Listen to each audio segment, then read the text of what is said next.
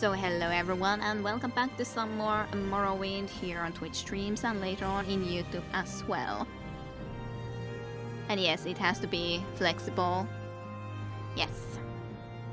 So let's just go on and load back in. So we got all the Telvanni mages convinced that we should be Hortator, that are the normal ones that you should convince, but there are the ones that are added as part of the Telvanni house stuff that I had in, plus overall just having this utter full restored area of land after all. I always forget forget exactly what the name of the place is or the mod's name, but you know. The added area, regardless. But yeah, so we are here. Not in our own place yet. Uh, I was thinking that I don't want to be looking like that, to be honest. Hey, I guess I could be taking some of these now too, considering we killed this person from here and uh, it's not like anyone else needs it. After all, well, of course I'm kind of carrying a little bit too much, aren't I? Daedric Dagger. It's a pretty looking dagger, of course. Hmm. Can't really carry a lot which is the problem. I'm like thinking, hmm, how could I do this? I guess I could be just getting some of these things into our own place, apartment, and so on and forth just quickly. So just do something like uh, pick this up from here, uh, get into here, take the books I want, this back for us, and uh, well, I don't think I have the magic to exactly travel immediately, but I guess I'll just take that anyways. The final lesson, probably something that I already read, but I can take it if I'm gonna be taking some extra stuff. I don't need the other stuff from here for sure though. So I doubt I have enough magic for recall, but I can always try. Yeah.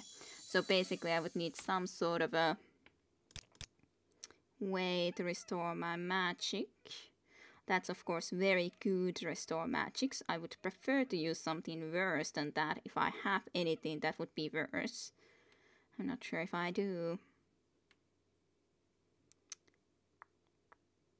Resist. so many potions, so many potions. Hey, that's worse. That's a lot worse. Can use that. Sure is. Oh, and hello, Tayunta. Welcome to the stream for you too. Welcome, welcome. Hopefully you have had also a good week. Ah, my mysticism skill increased also, and you should rest and meditate on what you've learned. We shall do that here in our own apartment for sure. And I can also just leave this dagger here, because why not? Well, I wanted to be leaving it more there, but because it's like a weapon, like those other things. it's a sweet looking dagger. Maybe I should be putting that into here. But anyways, also too many books. Um, well, let's have a look. What all should I be leaving into here? At least we can have that book too. Maybe I should actually be reading that completely. I'm pretty sure I read that. Um, the Frostwall uh, one, I'm sure at the very least we have in Teedred. How did I have that again? I have so many of those Nasta Quata Quakis books at different times for sure. Eh, sometimes so difficult to decide. I just leave this for a short moment so I can just come and put some of the books at least in here again. Uh, on top of our uh, tower of books, I'd say. Book of Towers, Tower of Books, because I'm not 100 sure if I have read them or not. Well, some at least I'm pretty sure I haven't. Necrom. Doesn't sound familiar. Hmm. Not sure about that. Dakadur message. Palla. At least I can put that into there. Then there's a couple at least that I'm not quite sure about that I'm pretty sure I haven't read.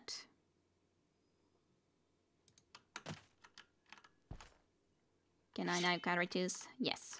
Let's just put a couple of more books into here that I'm pretty sure I have read, but I'm not 100% sure. Let's put that on top. It's pretty nice looking red cover after all. Like the Art of Magic, I'm pretty sure I've read. Uh, the Old Ways, probably red. That's actually a pretty nice looking book too. That I sure certainly have read, but I just need to sell it in some place or another. Frostwall, probably red. Legends of the Dead, probably red. Was there something else I wanted to put into here? Not sure about this one. Morrowind Historia. Hmm. There. Some more books. Hello, Sotentenho as well. Welcome to the stream for you too. How have you been this week? And yes, you should also be up for Sunday, so that's good. Um, I was thinking about 7 o'clock or something like that. We can test tomorrow or whatever. Yes, we got a book. Whatever time is good for you guys, we could be testing out the fact of um, actually seeing if we can make it work, as in Borderlands 1, before Sunday. Entertainment for the bus. Got home from the meetup at Tuesday. Oh, you were um, somewhere future away even on the meetup. Well, I'm glad it was fun, Dayunta. Looking not not for looking forward to sitting in the bus for nine hours again. Okay, sounds good to me. Good. Um, so are you back home or are you somewhere then elsewhere right now? If you are still waiting for the travel back with the bus, I'm not sure when that would then be. well, it's good that the Pathfinder Kingmaker is then good if you've been occupied with it. Ah, visited Turku for the first time of my life. Okay, first time even. I did live for less than a year there, but it was a nice one year to live there nonetheless. Just, I prefer more northern areas. And 18 to 19 should be good. I think I might be streaming after testing thing. Okay, that's all a-okay. That works for me at the very least. Does that timetable work for Dayunta and Satentenho as well? We might just as well agree while we're here. just hanging in Morrowind. I should sleep and uh, kind of level up and everything. So we are finally level 25. You have ascended to level 25. The results of hard work and dedication always look like luck to saps but you know you've earned every ounce of your success. Intelligence, willpower. Um, what then, what then? Can't put more strength, which is totally a-okay. Hmm. Maybe I should have some slightly more personality. Just a sliver more personality. well, we have a long way to increasing our skills more again. Destruction is relatively close. But then block always takes a long time to get up and restoration is not anywhere near high. Blunt weapons isn't high, enchantment definitely not. Alchemy is decently high in all reality, but medium armor 73 still quite a ways to go. Axe we definitely aren't even training at the moment. So, yay. well, maybe at some point I'll be able to get into a good situation with all of those. I was thinking we could maybe read the Wolf Queen's books now, because we actually have all of the 8 books now. Finally. Freaking finally. I probably should just put the last Wolf Queen book somewhere else than trying to put it on top of this freaking pile, because it's so impossible to try to put it there in any decent manner. Did I completely screw myself over is also a good question considering it started to flicker like that. Eh, or I just feel happy happy that it's there somehow. Because definitely I won't be able to put it there better. Just you at least be somewhere over there, please. Uh, doesn't look very good, but oh well. Guess I can't do too much about that exactly.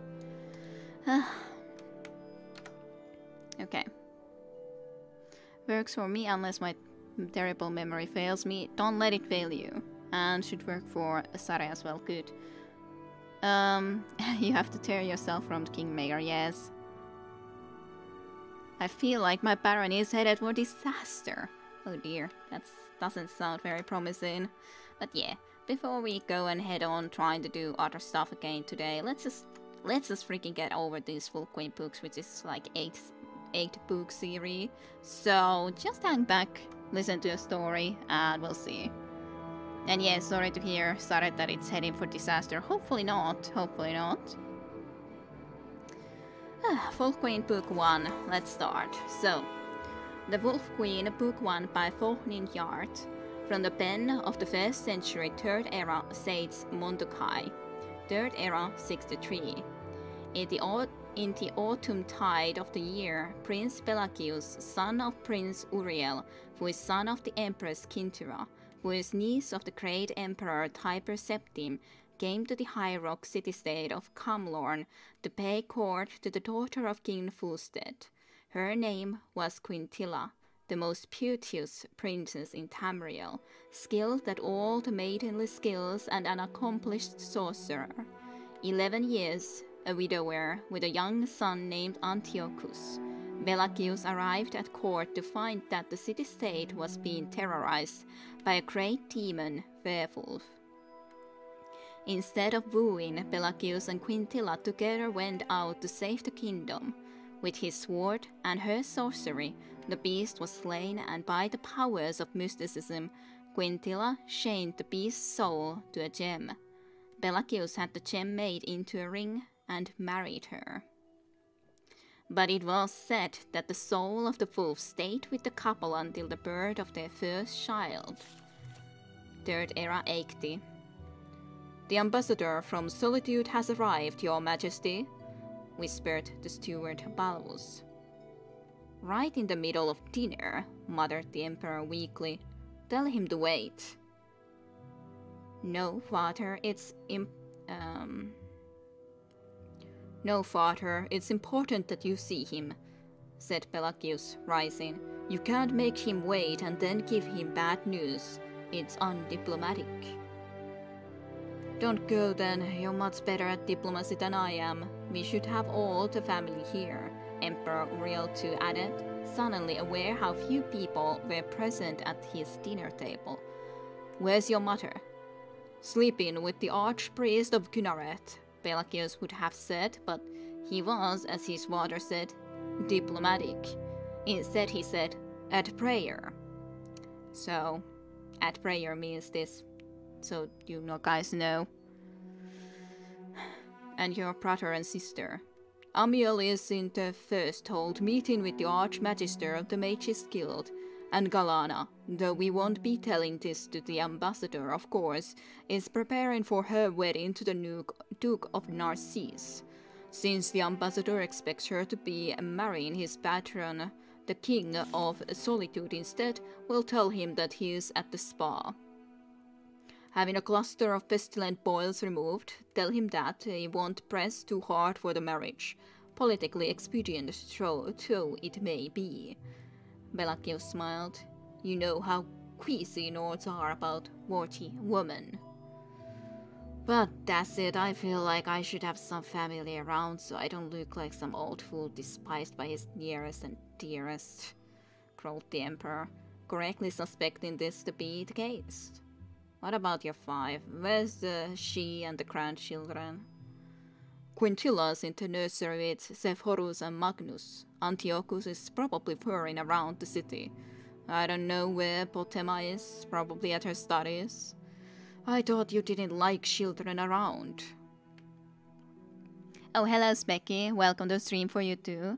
We're having a long book stream at least, or book reading for the moment. yes, removal of pestilent boils indeed. But welcome, and hopefully you have had a good week thus far. I do during meetings with ambassadors in damp staterooms, sighed the Emperor. They lend an air of, I don't know, innocence and civility. Ah, show the blasted ambassador in, he said to Balvus. Potema was bored. It was the rainy season in the imperial province, province wintertide, and the streets and the gardens of the city were all flooded. She could not remember a time when it was not raining.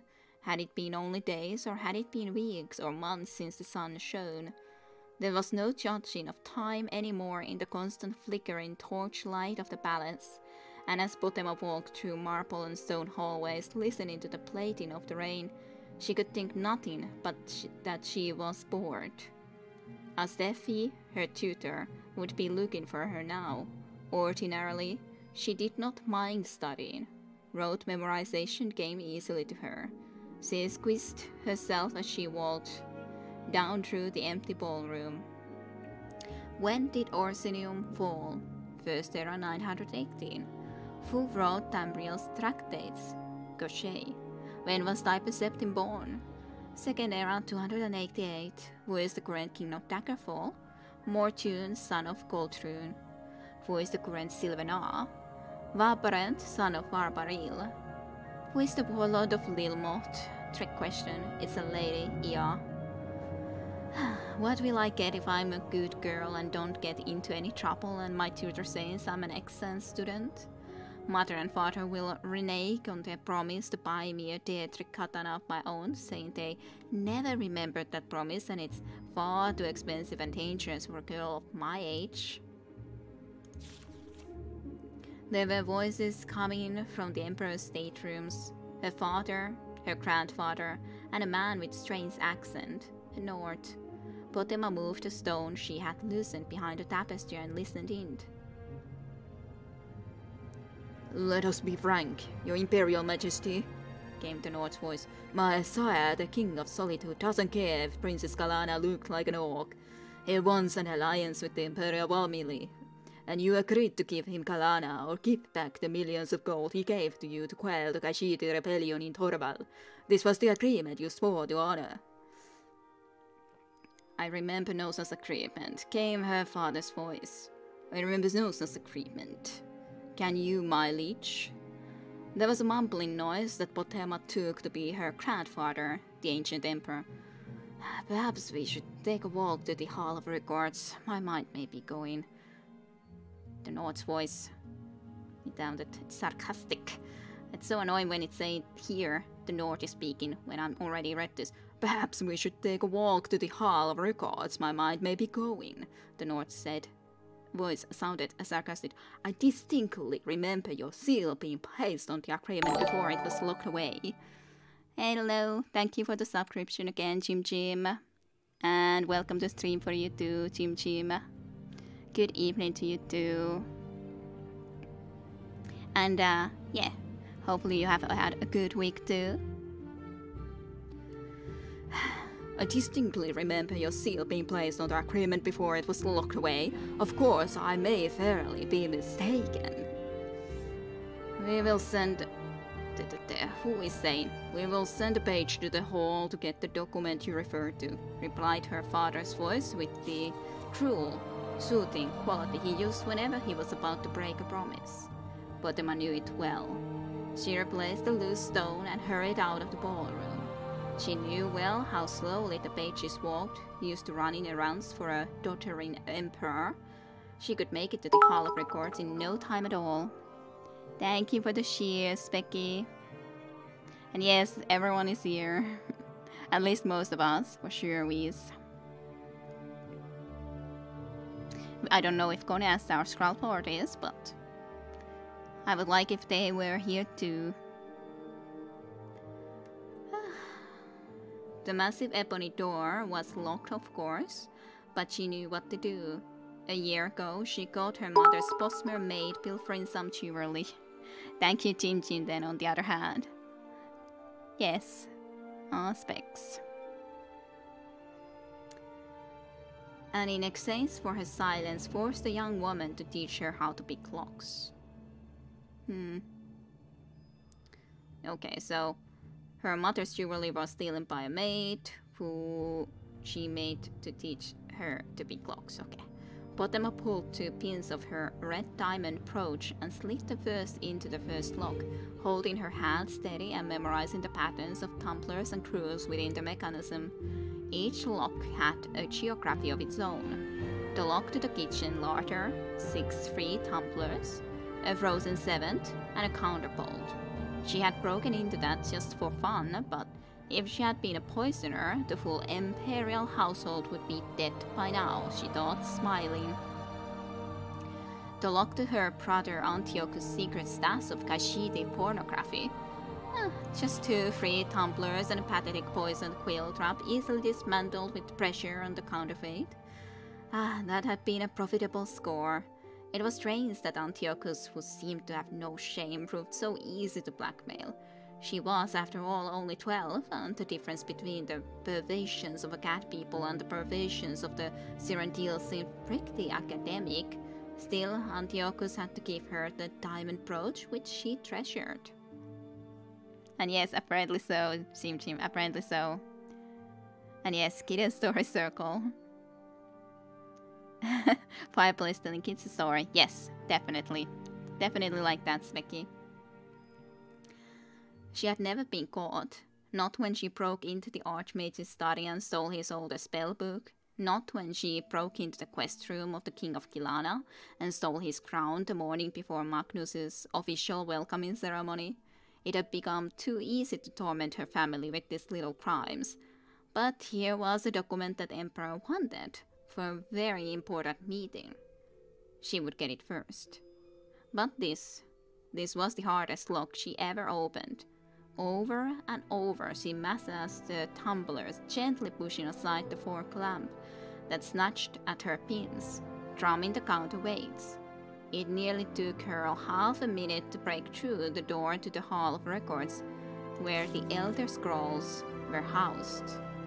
The documents were well organized by year, province, and kingdom, and it looked it took Potema only a short while to find the promise of marriage between Uriel Septim II, by the grace of gods, Emperor of the Holy Cyrodiilic Empire of Tamriel, and his daughter, the Princess Galana, and His Majesty's King Mantiarchos of Solitude. She grabbed her prize and was out of the hall with the door well locked before the page was even in sight. Back in the ballroom, she loosened the stone and listened eagerly to the conversation within. For a few minutes, the three men, the Nord, the Emperor, and her father just spoke of the veteran and some boring diplomatic details. Then there was the sound of footsteps and a young voice. The page. Your Imperial Majesty, I have searched the Hall of Records and cannot find the document you asked for. There, you see, came Potema's va- There, you see, came Potema's father's voice. I told you it didn't exist. But I saw it. The Nord's voice was furious. I was there when my liege and the Emperor signed it. I was there. Hmm. I hope you aren't doubting the word of my father, the sovereign emperor of all Tamriel, not when there's no now proof that you must have been mistaken. Pelagius's voice was low, dangerous. Of course not, said the Nord, conceding quickly. But what will I tell my king? He is to have no connection with the imperial family and no gold returned to him, as the agreement as he and I believe the agreement to be. We don't want any bad feelings between the Kingdom of Solitude and us, came the Emperor's voice, rather feeble but clear enough. What if we offered King Mantiarco our granddaughter instead? Oh dear, dear Potema, what did you do for yourself?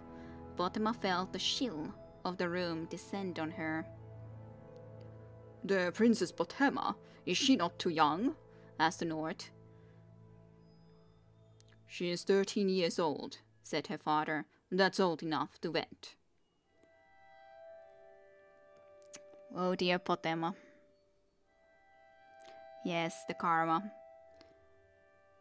She would an ideal mate for your king, said the emperor. She is admittedly, from what I see of her, very shy and innocent, but I'm certain she would quickly grasp the ways of court. She is, after all, a septim. I think she would be an excellent queen of solitude. Not too exciting, but noble. The granddaughter of the emperor is not as close as his daughter, said the Nord, rather miserably. but I don't see how we can refuse the offer. I will send word to my king. You have our leave, said the Emperor, and Potema heard the sound of the North leaving the state room. Oh dear, Potema. And yes, 13 is a bit young, yes. Good that you are liking it. Uh, nonetheless, tears streamed down Potema's eyes. She knew who the King of Solitude was from her studies. Mantiarco, 62 years old and quite fat. And she knew how far Solitude was, and how cold in the northernmost clime. Her father and grandfather were abandoning her to the barbaric Nords. The voices in the room continued talking. Well acted, my boy. Now make sure you burn that document, said her father. My prince? asked the page's querulous voice. The agreement between the Emperor and the King of Solitude, you fool. We don't want its existence known. My prince, I told the truth. I couldn't find the document in the Hall of Records. It seems to be missing. By Lorkhan, roared her father, why is everything in this palace always misplaced? Go back to the hall and keep searching until you find it. Potema looked at the document. Millions of gold pieces promised to the Kingdom of Solitude in the event of Princess Kalana not marrying the king. She could bring it into her father, and perhaps as a reward he would not marry her to Mantiarco, or perhaps not. She could blackmail her father and the emperor with it and make a tidy sum of money. Or she could produce it when she became Queen of Solitude to fill her coffers, and buy anything she wanted. More than a Tetric katana, that was for certain. So many possibilities, Potema thought, and she found herself not bored anymore. Well, that's a good first book story at the very least. Many times marriage is organized for much younger than that, yes, but the guy who is going to be the one she's going to be marrying is quite a lot older. But yeah, I guess marriage means a different thing than it does to us. Yes, of course at least in this case, and considering he is already 60 years old, so. And yes, Potema does see the silver lining now. So the Wolf Queen, I guess Potema became the Wolf Queen then, I must say. The Wolf Queen book 2. The Wolf Queen book 2 by 14 Yard, from the pen of the 1st century 3rd era sage Montocai. 3rd era 82, a year after the wedding of his 14-year-old granddaughter, the Princess Potema, to King Mantiarco of the Nordic Kingdom of Solitude, the Emperor Uriel Septim II passed on. His son, Pelagius Septim II, was made emperor, and he faced a greatly depleted treasury thanks to his father's poor management. As the new queen of Solitude, Potema faced opposition from the old Nordic houses, who viewed her as an outsider. Mantiarco had been widowed, and his former queen was loved. She had, her, she had left him a son, Prince Butthork, who was two years older than his stepmother, and loved her not. But the king loved his queen, and suffering with her through miscarriage after miscarriage until her 29th year, when she bore him a son. So Potema did not have very good luck in actually getting children herself, for sure, considering only at the age of 29 then. And there was, after all, the Prince Patork, who was two years older than her, even. That uh, was also the son of the Mantiarco and so on. Ah, good, good. Good to understand. Potamosis, indeed. But nothing else is said in the chat, so let's continue. Third era 97. You must do something to help the pain, Potema cried, baring her teeth. The healer, Kelmeth, immediately thought of a she-wolf in labor, but he put the image from his mind. Her enemies called her the Wolf Queen for certs, but not because of her any physical resemblance. Your Majesty, there is no injury for me to heal. The pain you feel is natural and helpful for the bird. He was going to add more words of consolation, but he had to break off to duck the mirror she flung at him. I'm not a big-nosed peasant girl, big-nosed. She's not. I am the queen of solitude, daughter of the emperor. Summon the Daedra. I'll trade the soul of every last subject of mine for a little comfort. My lady, said the healer nervously, drawing the curtains and plotting out the cold morning sun. It is not wise to make such offers even in jest. The eyes of Oblivion are forever watching for just such a rash interjection. Pike. Mm, that prior track such great music to rise well and then quiet, yes, Pike nosed. What would you know of Oblivion Healer? She crawled, but her voice was calmer, quieter. The pain had relaxed. Would you fetch me that mirror I hurled at you? Are you going to throw it again, Your Majesty? said the healer with a taut smile, obeying her. Very likely, she said, looking at her reflection. And next time I won't miss. But I, I do look a fright. Is Lord Vhokken still waiting for me in the hall? Yes, Your Majesty. Well, tell him I just need to fix my hair and I'll be with him. And leave us. I'll howl for you when the pain returns. Yes, Your Majesty. A few minutes later, Lord Vhokken was shown into the chamber. He was an enormous bald man whose friends and enemies called Mount Vhokken, and when he spoke, it was with the low crumble of thunder. The queen was one of the very few people Vhokken knew who was not the least bit intimidated by him, and he offered her a smile. A smile. My queen, how are you feeling? Damned, but you're looking like a spring tide has come to Mount Vhokken.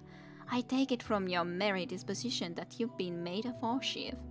Only temporarily, while your husband the queen investigates whether there is evidence behind the rumors of treason on the part of my predecessor, Lord Tone. If you planted it as I've instructed, he'll find it. Potema smiled, propping herself up in the bed. Tell me, is Prince Bathorgh still in the city? What a question, Your Highness, laughed the mountain. It's the tournament of stamina today. You know the prince would never miss that. The fellow invent, invents new strategies to, of self-defense every, every year to show off during the games. Don't you recall last year when he entered the ring unarmored and after 20 minutes of fending off sixth man, left the games without a scratch? He dedicated that about to his late mother, Queen Ameditha. That about. No criticism. It's good, Jim Jim. No worries. That Vhokken Lord thinks he's so high and mighty. Mm-hmm.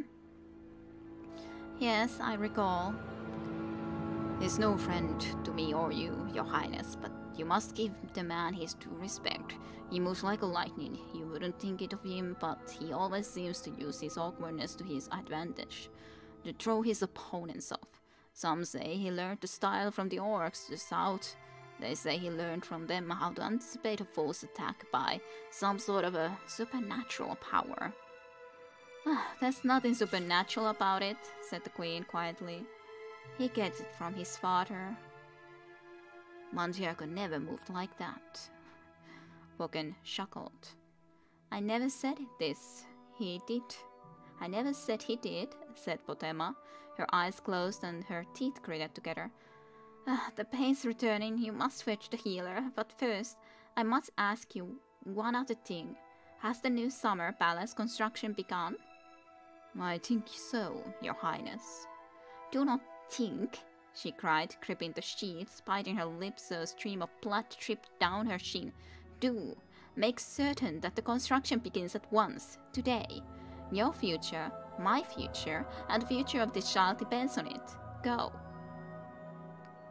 Four hours later, King Mantiarco entered the room to see his son. His queen smiled weakly as he gave her a kiss on the forehead. When she handed him the child, a tear ran down his face, another one quickly followed, and then another. My lord, she said fondly, I know you're sentimental, but really. It's not only the child. The, though he is beautiful, with all the fair features of his mother. Mantiarco turned to his wife. Sadly, his aged features twisted in agony. My dear wife, there is trouble at the palace. In truth, this bird is the only thing that keeps this day from being the darkest in my reign. What is it? Something at the tournament? Potema pulled herself up in the bed. Something with Bathorgh? No, it isn't the tournament, but it does relate to Bathorgh. I shouldn't worry you at a time like this. You need your rest. My husband, tell me. I wanted to surprise you with a gift after the birth of our child, so I had the old summer palace completely renovated. It's a beautiful place, or at least it was. I thought you might like it. True to tell, it was Lord Vhokken's idea. It used to be the Ameditha's favorite place. Bitterness crept into the king's voice. Now I've learned why. What have you learned? asked Potema quietly. Ameditha deceived me there with my trusted warship, Lord Tone. There were letters between them, the most perverse things you've ever read. And that's not the worst of it. No? Yep. Uh, the guy isn't the son that he thought. Patrick isn't his son, obviously enough.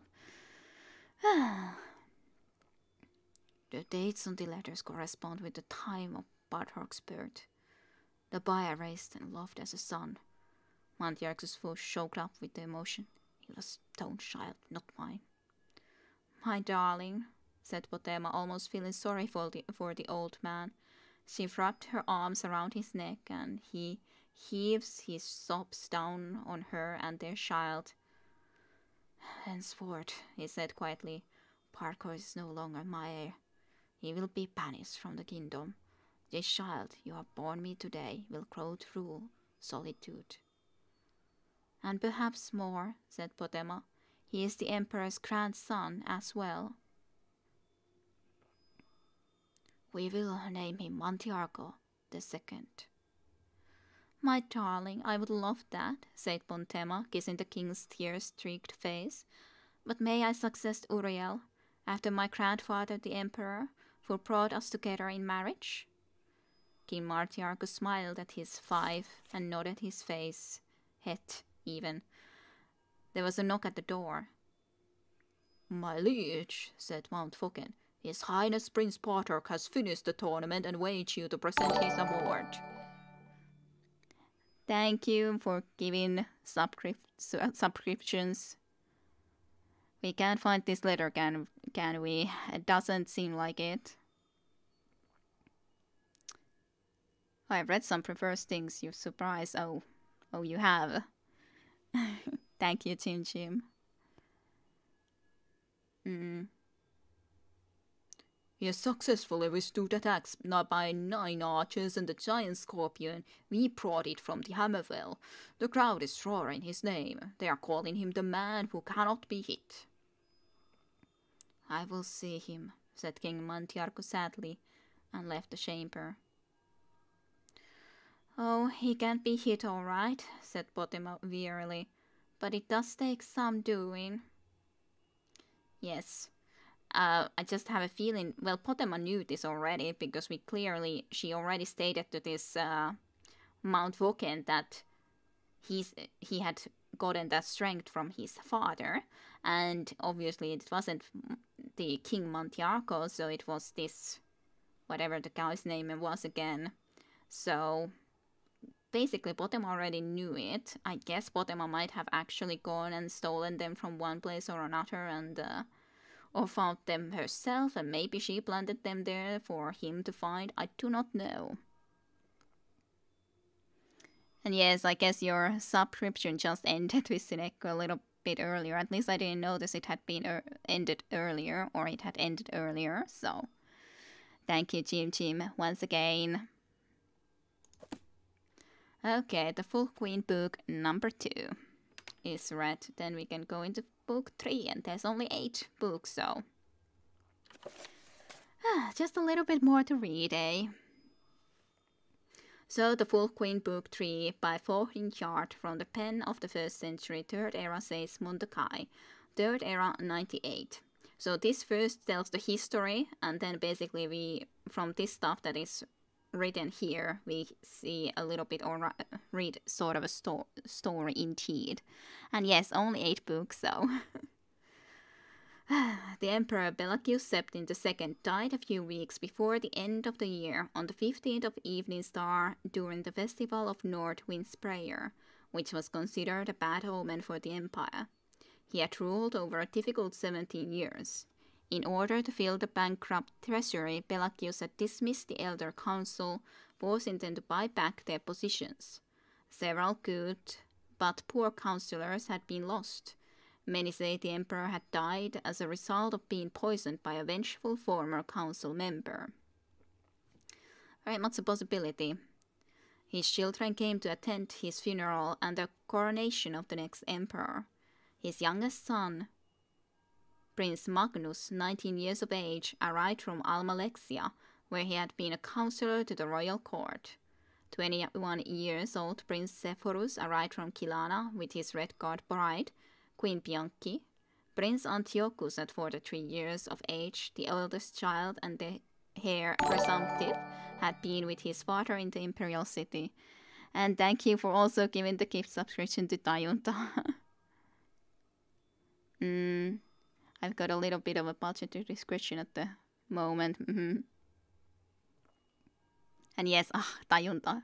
Also, Tajunta didn't have it anymore. it was quite the hunt for these books after all. It was definitely quite of a hunt.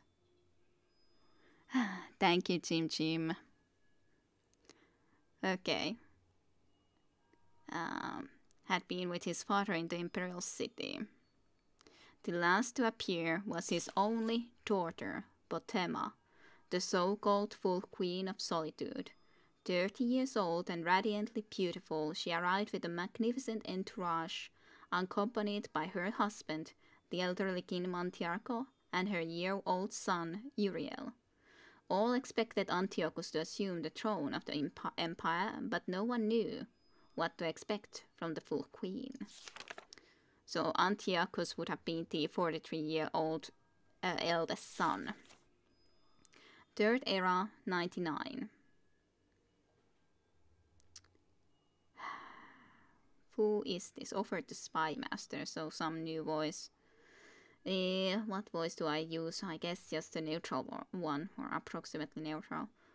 Lord Vhokken has been bringing several men to your sister's chambers late at night every night this week offered the spy master, perhaps if her husband were made aware.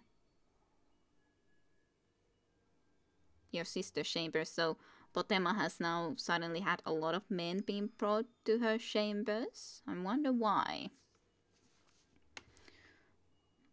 My sister is a devout of the conquered rare gods Remain, Reman and Talos, not the love goddess Dibella. She is plotting with those men, not having orgies with them. I'd wager I've slept with more men than he she has, laughed Antiochus, and then grew serious. Uh, this behind the delay of the council offering me the crown, I know it. Six weeks now. They say they need to update records and prepare for the coronation. I'm the emperor. Crown me and oblivion with the formalities. Yes, he definitely isn't doing something like that, but uh, a little bit more plotting. Could we organize a Books of Skyrim series with quest voices from the snowflakes? That could be interesting for sure, Wiz. Quite uh, interesting. You all could be bringing your voices in. Your sister is surely no friend of yours, your majesty, but there are other factors at play. Do not forget how your father treated the council. It is they who need following and if need be, strong convincing. The spymaster added with success the stab of his dagger.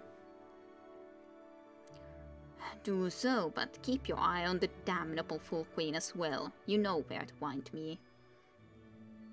At which prattle, your highness? inquired the spymaster. Today being Fredas, I'll be at the Cat and Goblin. Cat and Goblin uh, brothel that he is going to be at.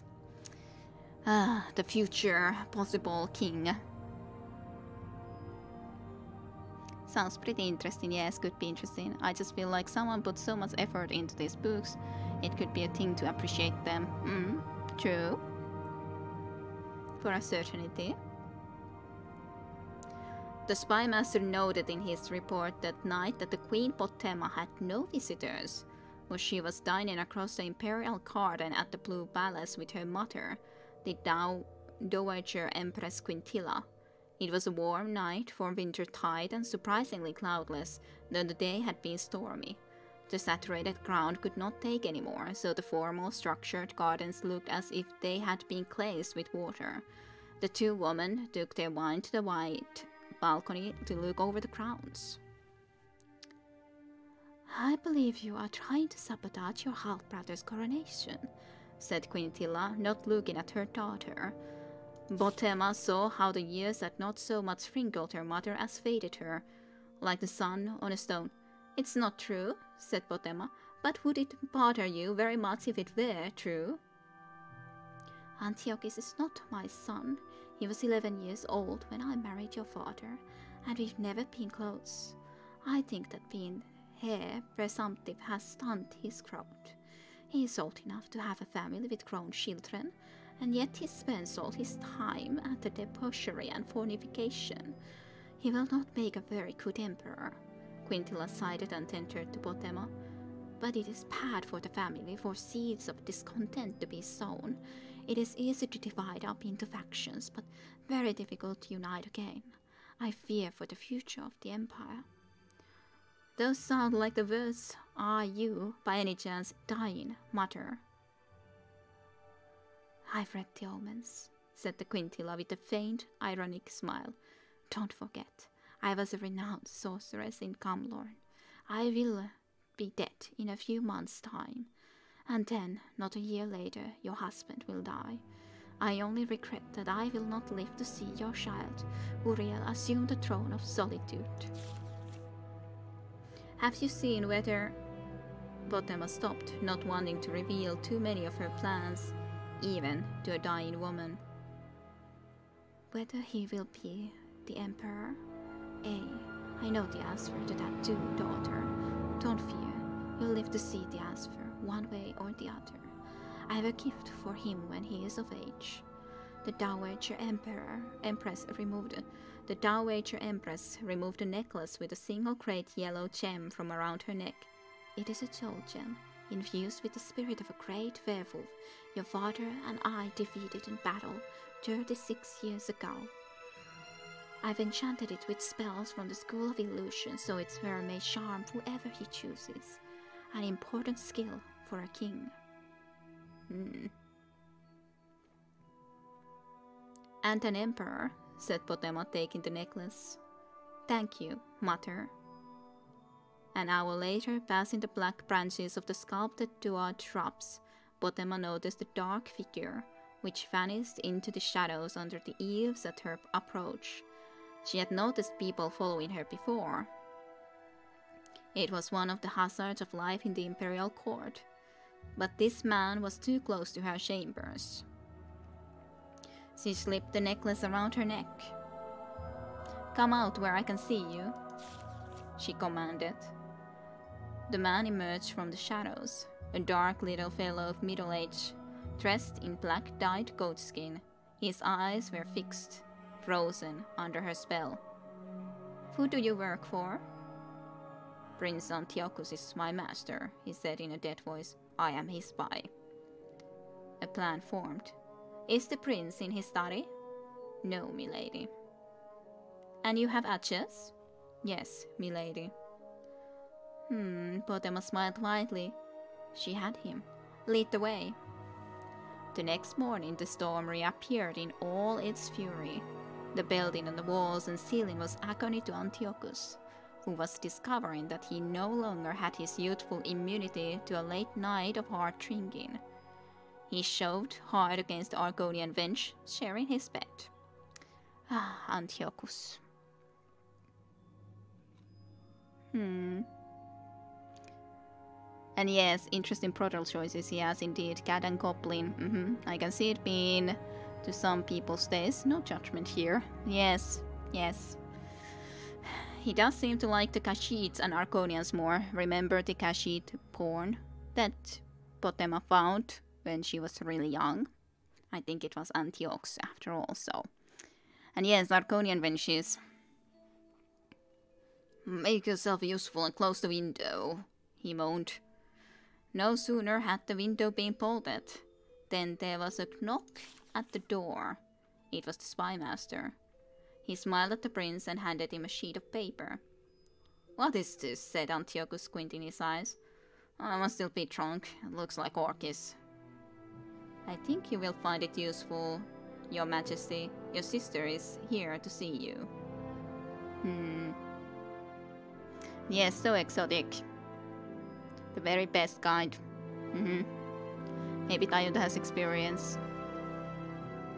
At least Jim Jim is taking his word for it, so maybe. Antiochus considered getting dressed or sending his bedmate out, but thought better of it. Show her in. Let her, let her be scandalized. good, good that you know. If Potema was scandalized, she did not show it. Swathed in orange and silver silk, she entered the room with a triumphant smile, followed by the man mountain, Lord Vhokken. Dear brother, I spoke to my mother last night, and she advised me very wisely. She said I should not battle with you in public for the good of our family and the empire. Therefore, she said, producing from the folds of her robe a piece of paper, I am offering you a choice. A choice, said Antiochus, returning her smile. That does sound friendly. Abdicate your rights to the imperial throne voluntarily, and there is no need for me to show the council this. Potema said, handing her brother the letter. It is a letter with your seal on it, saying that you knew that your father was not Pelagius Septim II, but the royal steward, Vontok. Now, before you deny writing the letter, you cannot deny the rumors, nor that the Imperial Council will believe that your father, the old fool, was quite capable of being cuckolded. Whether it's true or not, or whether the letter is a forgery or not, the scandal of it would ruin your chances of being the emperor. Antiochus' face had gone white with fury. Uh, I hear there's a lot of Argonians in Oblivion, eh? Scandalous. It has nothing to do with the fact of Oblivion being one of my favorite games. Mm-hmm. Mm-hmm. Cuckolding is the worst. Yes, it is. Don't fear, brother, said Potema, taking back the letter from his shaking hands. I will see to it that you have a very comfortable life and all the furs your heart or any other organ desires. Suddenly, Antiochus laughed. He looked over at his spymaster and winked. I remember when you broke into my stash of Khajiiti erotica and blackmailed me. That was close to 20 years ago. We've got better locks now. You must have noticed. It must have killed you that you couldn't use your own skills to get what you wanted. But the merely smiled. It didn't matter. She had him. You must have shot my servant here into getting you into my study to use my seal. Antiochus smirked. A spell, perhaps, from your mother, the witch. Potema continued to smile. Her brother was cleverer than she thought. Did you know that the charm spells, even powerful ones, only last so long? Of course you didn't. You never wear one for magic. Let me tell you, a generous salary is a stronger motivation for keeping a servant in the long run, sister. Okay. Should this have been actually Antiochus? yeah. Okay, I'll read this again because it was apparent Antiochus. Did you know that charm spells, even even powerful ones, only last for for so long? Of course you didn't. You never wear one for magic. Let me tell you, a generous salary is a stronger motivation for keeping a servant in the long run, sister. Antiochus took out his own sheet of paper. Now I have a choice for you. What is that? said Potema, her smile faltering. It looks like nonsense, but if you know what you're looking for, it's very clear. It's a practice sheet. Your handwriting attempt to look like my handwriting. It's a good gift you have. I wonder if you haven't done this before, imitating another person's handwriting. I understand a letter was found from your husband's dead wife saying that his first son was a bastard. I wonder if you wrote that letter. I wonder if I showed his, this evidence of your gift to your husband, whether he would believe you wrote that letter. In the future, dear Wolf Queen, don't lay the same trap twice. Potema shook her head, furious, unable to speak. Give me your forgery and go take a walk in the rain. And then later today unhatch whatever other plots you have to keep me from the throne.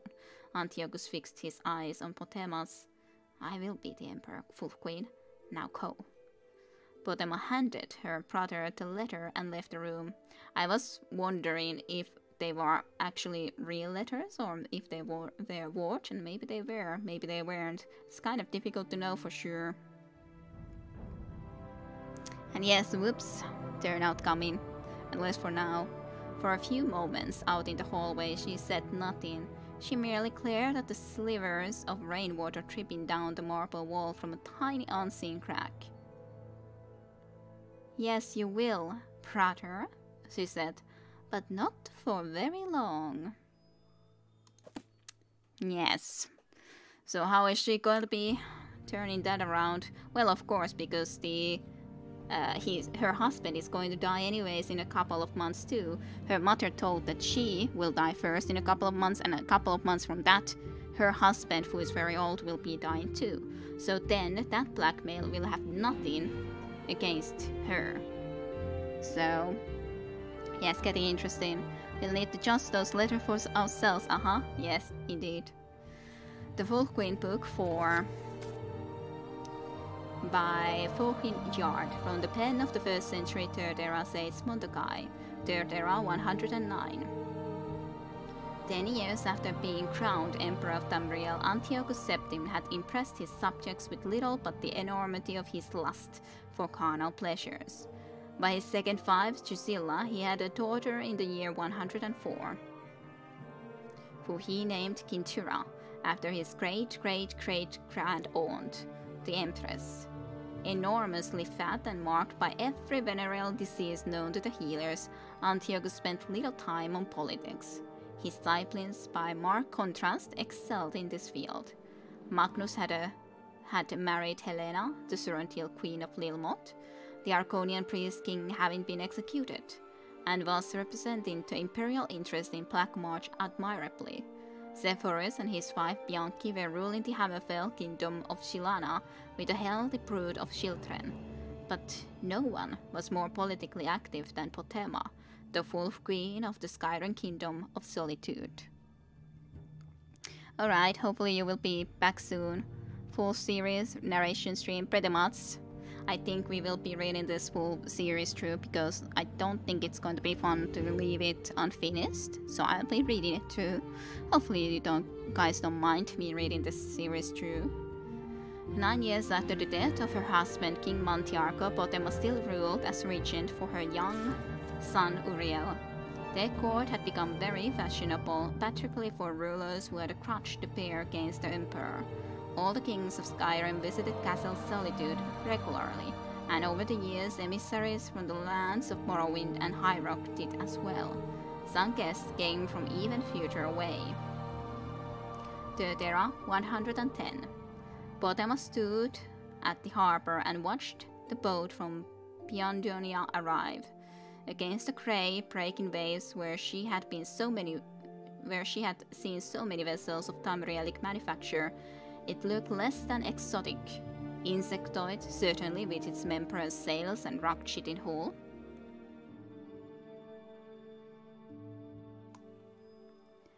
Good, good that you don't mind Tajunta. It's good that it's interesting.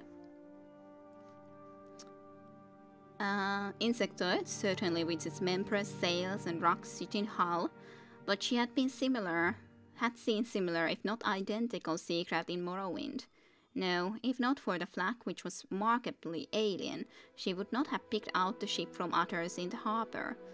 As the salty mist ballooned around her, she held out her hand in welcome to the visitors from another island empire. The men aboard were not merely pale, they were entirely colorless, as if their flesh were made of some white, limpid jelly, but she had been forewarned. At the arrival of the king and his translator, she looked directly into their blank eyes and offered her hand. The king made noises. His Great Majesty King Orgnum, said the translator haltingly, expresses his delight at your beauty. He thanks you for giving him refuge from these dangerous seas. You speak Cyrodiilic very well, said Potema. I am fluent in the languages of four continents, said the translator. I can speak to the denizens of my own country, Pyandonea, as well as those of Atmora, Akavir, and here in Tamriel. Yours is the easiest, actually. I was looking forward to this voyage. Please tell His Highness that he is welcome here, and that I am entirely at his disposal, said Potema smiling. Then she added, You understand the context, that I'm just being polite? Of course, said the translator, and then made several noises at the king, which the king reacted to with a smile. While they conversed, Potema looked up the dock and saw the now familiar grey cloak watching her while they spoke with Levlet, Antiochus' man. Antiochus is the Psijic order from the Summerset Isle, very bothersome. My diplomat emissary Lord Vhokken will show you to your rooms, said Potema. Unfortunately, I have some other quests as well who require my attention. I hope your Great Majesty understands. His Majesty, Great Majesty King Orgnum did understand, and Potema made arrange arrangements to dine with the Buandunians that evening. Meeting with the Psijic Order required all of her concentration. She dressed in her simplest black and gold robe and went to her stateroom to prepare. Her son, Uriel, was on the throne, playing with his pet Yokat. Good morning, Mom.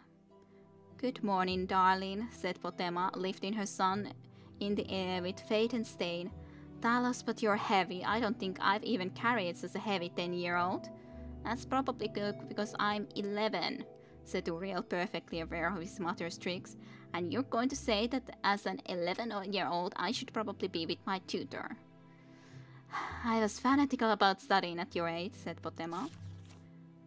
I'm a king, said Uriel petulantly. But don't be satisfied with that, said Potema. By all rights, you should be emperor already. You understand that, don't you? Uriel nodded his head. Potema took a moment to marvel at his likeness to the portraits of Tiber Septim. The same ruthless brow and powerful chin. When he was older and lost his baby fat, he'd be a splitting image of his great great great great great granduncle. Behind her, she heard the door opening and an usher bringing in several grey cloaks. She stiffened slightly, and Uriel on cue jumped down from the throne and left the stateroom, pausing to greet the most important of the Psijiks. Good morning, Majest Master Iachesis, he said, enunciating each syllable with a regal accent that made Potema's heart soar. I hope your accommodations at Castle Solitude meet with your approval. They do, King Uriel, thank you, said Iachesis, delighted and charmed. Iachesis and his Psijic entered the chamber and the door was shut behind them. Potema sat only for a moment on the throne before stepping off the dais and creating her guests. I am so sorry to have kept you waiting, said Potema. To think that you sailed all the way from the Summerset Isles and I should keep you waiting any longer. You must forgive me. It's not at all that long of a voyage, said one of the grey cloaks angrily. It isn't as if we sailed all the way from Beartinia. Ah, you've seen my most recent quest, King Orgnum and his retinue, said Potema breezily. I suppose you think it is unusual me entertaining them, as we all know the Beartinians mean to invade Tamriel. You are, I take it, as neutral in this as you are in all political matters? Of course, said Iachesis proudly. We have nothing to gain or lose by the invasion. The Psijic Order preceded the organization of Tamriel under Septim dynasty, and we shall survive under any political regime. Rather like a flea on whatever mongrel happens along, are you? said Potema, narrowing her eyes. Don't over overestimate your importance, Iachesis. Your author's child, the Mages Guild, has twice the power you have, and they are entirely on my side. We are in the process of making an agreement with King Orgnum. When the Pyramians take over and I am in my proper place as Empress of this continent, then you shall know your proper place in the order of things. Alrighty, just a question. Okay with narration. Any other they should have said? Yes. Good, good. That everyone is okay with this. With a majestic stride, Potema left the stateroom, leaving the grey cloaks to look from one to the other. Um, we must speak to Lord Levlet, said one of the grey cloaks. Yes, said Iachesis. Perhaps we should. Levlet was quickly found at his usual place at the Moon and Nausea Tavern. nausea Tavern? Moon and Nausea Tavern. Okay then. Moon and Nausea.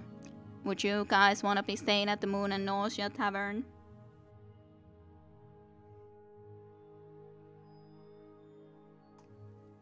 Would you or would you not? As the three grey cloaks entered, led by Iachesis, the smoke and the noise seemed to die in their path. Even the smell of tobacco and flint dissipated in their wake. He rose and then escorted them to a small room upstairs. Makes me nauseous to think about it. Sounds pleasant, yes. You've reconsidered, said Levlet with a proud smile. Your emperor, said Iachesis, and then corrected himself. Our emperor originally asked for our support in defending the west coast of Tamriel from the Pydian fleet in return for 12 million gold pieces. We offered our services at 50. Upon reflection on the dangers that the Pydian invasion would have, we accept his earlier offer. The Mages Guild has generously, perhaps for a low 10 million gold pieces, said Iachesis quickly. Hmm. I would strongly think their drinks are spiced. Yes, that's probably the case. but cheap, yes. Um, over the course of dinner, Potema promised King Orgnum to the interpreter to lead an insurrection against her father. She was delighted to discover that her capacity for lying worked many different cultures. Potema shared her bed that night with King Orgnum, as it seemed the polite and diplomatic thing to do.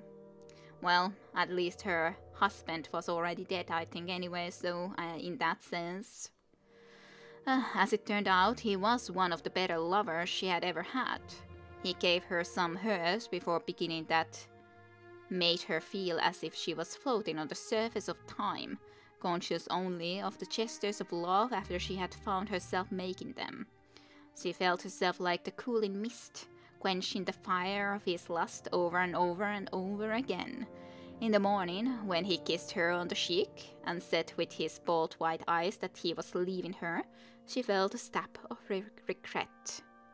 Stab of regret, and yes, very diplomatic. The ship left harbour that morning en route to the Summerset Isles and their imminent invasions. She waved them off to the sea as she footsteps, um, as she heard footsteps behind her. It was Levlet. They will do it for eight million, your highness, he said. Thank Mara, said Potema. I need more time for an insurrection. Pay them from my treasury and then go to the imperial city and get the 12 million from Antiochus. We should make a good profit from this game, and you, of course, will have your share. Three months later, Potema heard that the fleet of the Pyondianians had been utterly destroyed by a storm that had appeared suddenly off the Isle of Artaeum, the home port of the Psijic Order. King Orgnum and all of his ships had been utterly annihilated. Ah, Puarkin Orgnum. Ah, sometimes making people hate you, she said, holding her son Uriel close. It's how you make profit. Yes, that's the way to make profit. You learned it from her, the wolf queen. Ah, only we are halfway, halfway through the books. And yes, very impressive, for sure, Whis. Okay, The Wolf Queen, Book 5 by Waughin Jarth, from the pen of Inzolicus, 2nd century sage and student of Montocai. Third era 119. For 21 years, the Emperor Antiochus Septim ruled Tamriel and proved an able leader despite his moral laxity. His greatest victory was in the War of the Isle in the year 110, when the Imperial fleet and the royal navies of Summered Isle together with the magical powers of Psijic Order, succeeded in destroying the Biardinians' invading armada. His siblings, King Magnus of Lilmoth, King Cephorus of Gilane, and Potema, the Wolf Queen of Solitude, ruled well, and relations between the Empire and the kingdoms of Tamriel were much improved. Still, centuries of neglect had not repaired all the scars that existed between the Empire and the kings of High Rock and Skyrim. During a rare visitation from his sister and nephew Uriel, Antiochus, who had suffered from several illnesses over his reign, lapsed into a coma. For months he lingered in between life and death, while the Elder Council prepared for the ascension of his 15 year old daughter, Kintyra, to the throne. Hmm. I realize that these books have certain themes that may be present in the following game as well, at least I don't know who this Uriel is that is the full queen's son, but uh, this Uriel is probably I don't know which Uriel Septim it will be, but it, he definitely will get to be the emperor. I'm sure of that. At least the way it's been going, yeah. I know I've probably said this before, but I never connected with connected with the story of Elder Scrolls when playing at the actual game, not like with Kide story time. Yeah, this tells the story way better than the games tell it, to be honest. It would be nice if there would be a game, but I don't think that Oblivion also told very well about the emperors or the any of them, or the real Barenziah book tells way better of the what all has gone on during that time in in, in Morrowind, though as such that story partially at least is also present in the, I think, was it the Daggerfall game? Possibly. Prose writers, mm, it told nothing. Yes, that's the thing. It's a shame. It's a shame that it didn't tell anything of those things. But okay, third era 120. Matter, I can't marry Kintyra, said Uriel, more amused by the suggestion than offended. She's my first cousin, and besides, I believe she's engaged to one of the lords of council, Modellus. You're so squeamish. There's a time and a place for propriety, said Potema. But you're correct at any rate about Modellus, uh, and we shouldn't offend the Elder Council at this critical juncture. How do you feel about Princess Rakma? You spend a good deal of time in her company in Farrun. It's alright, said Uriel. Don't tell me you want to hear all the dirty details. Please spare me your study of her anatomy, Potema. But would you marry her? I suppose so. Very good, I'll make the arrangements then. Potema made a note for herself before continuing. King Leramo has been a difficult ally to keep, and a political marriage should keep Farrun on our side. Should we need them? When is the funeral? What funeral? asked Uriel. You mean for Uncle Antiochus? of course, sighed Potema. Anyone else of note die recently? There were a bunch of little Redguard children running through the halls, so I guess Cephorus has arrived. Magnus arrived at court yesterday, so it ought to be any day now. it's time to address the court, then, said Potema, smiling, counsel even.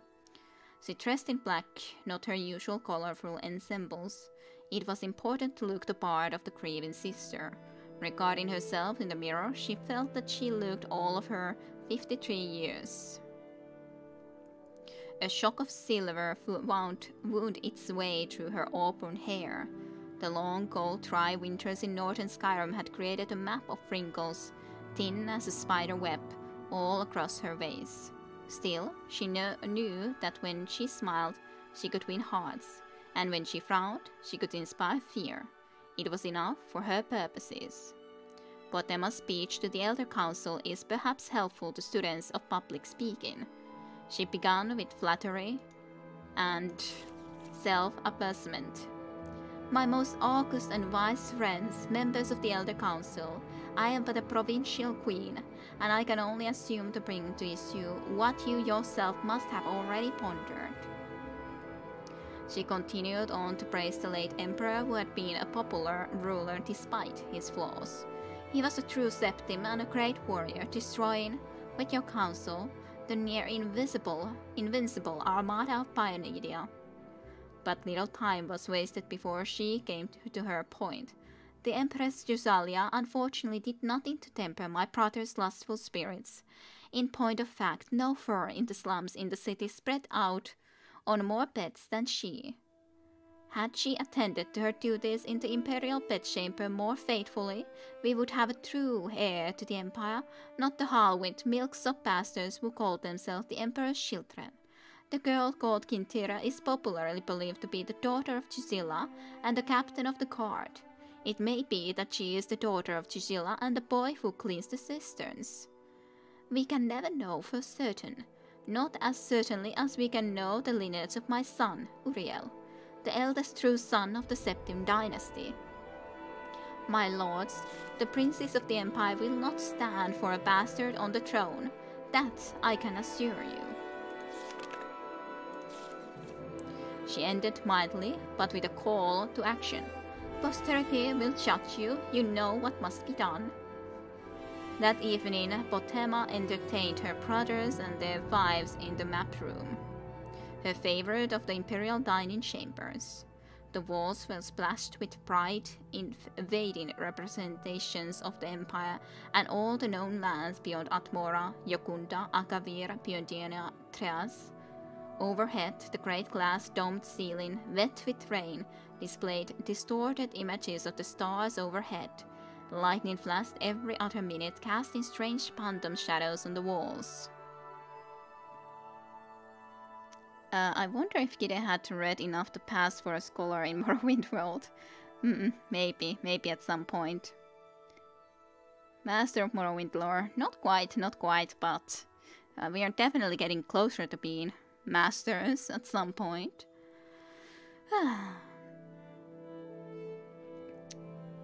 when will you speak to the council? asked Potema as the dinner was served. I don't know if I will, said Magnus. I don't believe I have anything to say.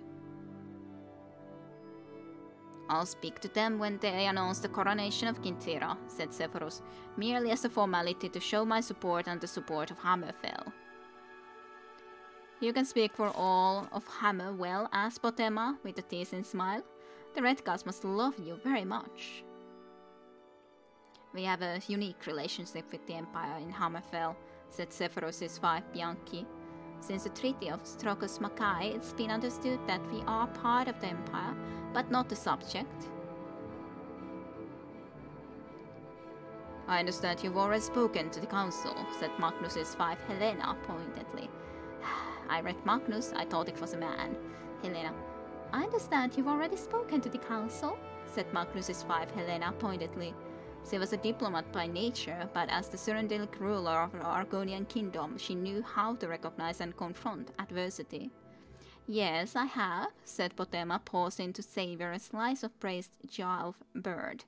I gave them a short speech about the coronation this afternoon.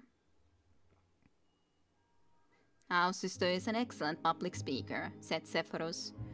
You're too kind, said Potema, laughing. I do many things better than speaking. Sasas? asked Bianki, smiling. Might I ask what you said in your speech? asked Magnus suspiciously. There was a knock on the chamber door. The head steward whispered something to Potema, who smiled in response and rose from the table. I told the council that I would give my full support to the coronation, provided they proceed with wisdom. What could be sinister about that? Potema said and took her glass of wine with her to the door. If you'll pardon me, my niece Kintyra wishes to have a word with me. Hmm.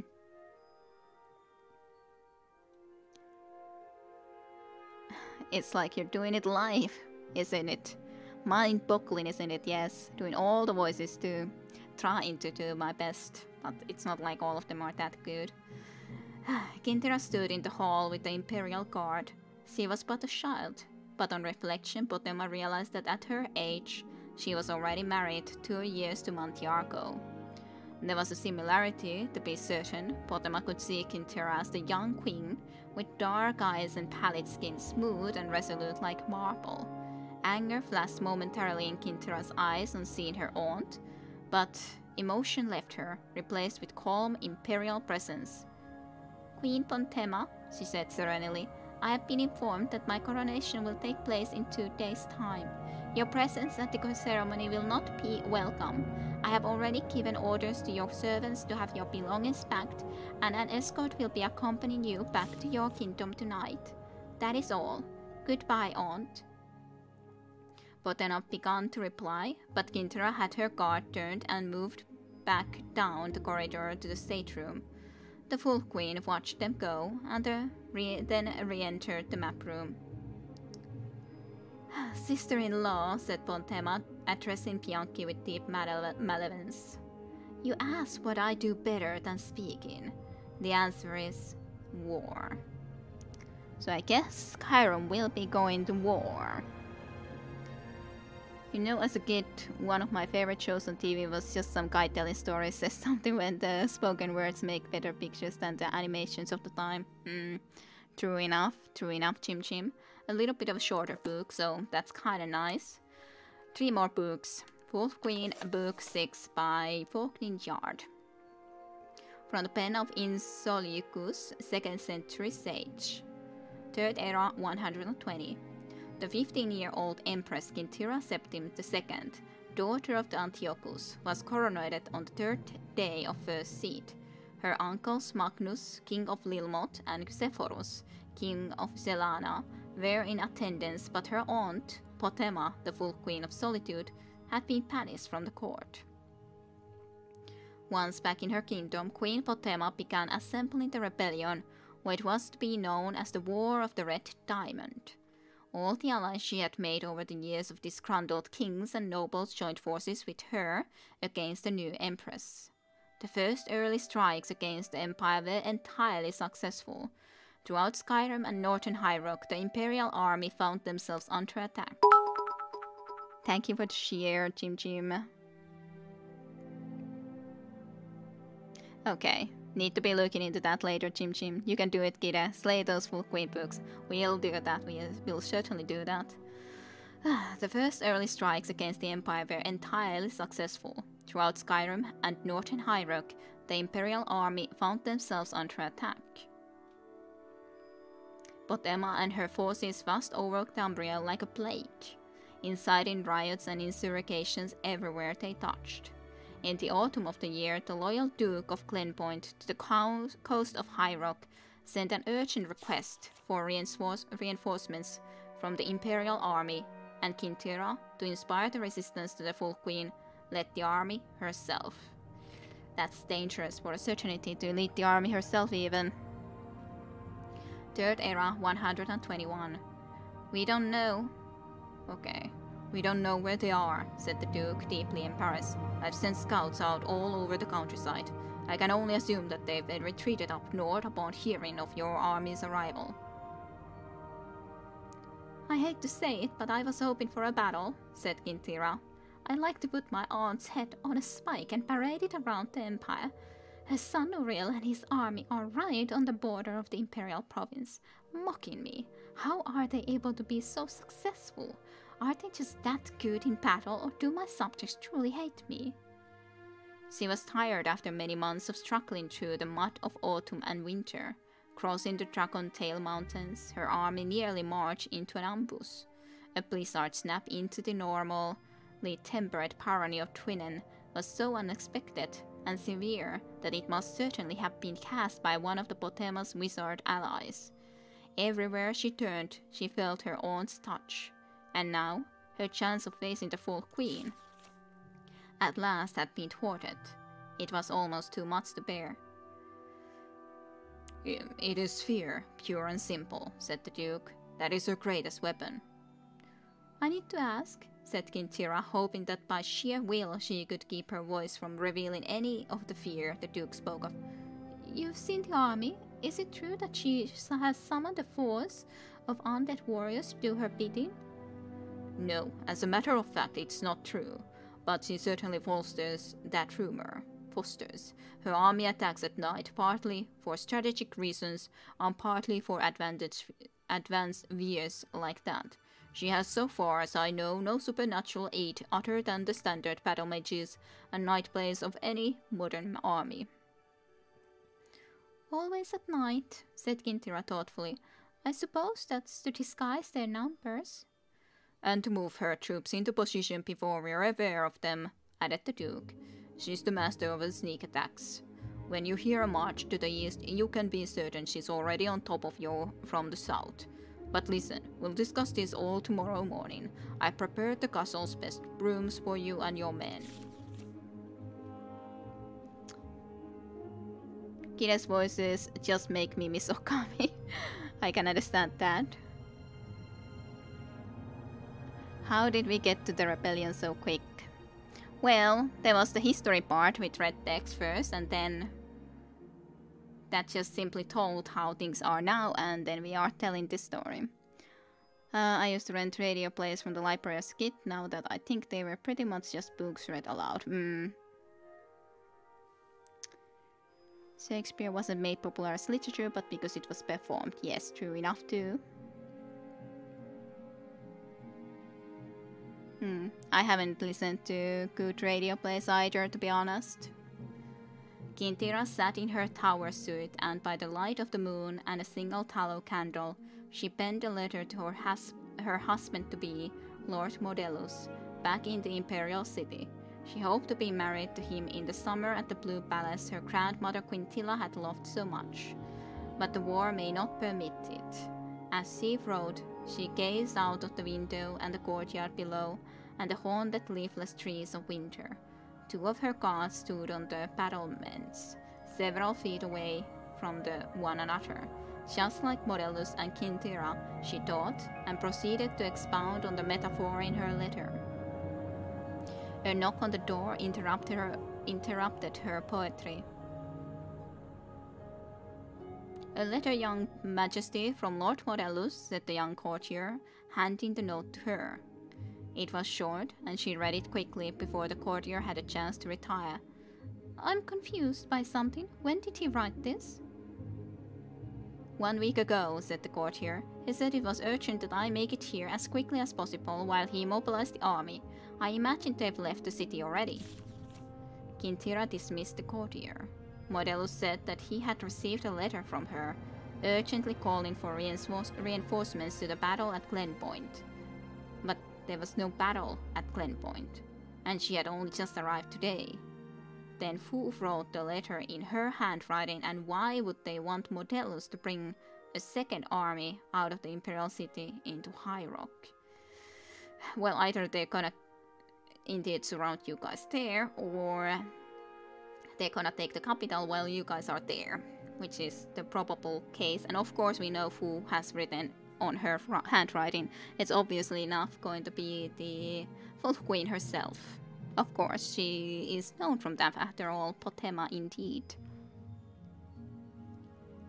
And yes, there is a plenty of lot of good books. And thank you for again gifting the uh, subscription to Satenten on the other hand. Hmm.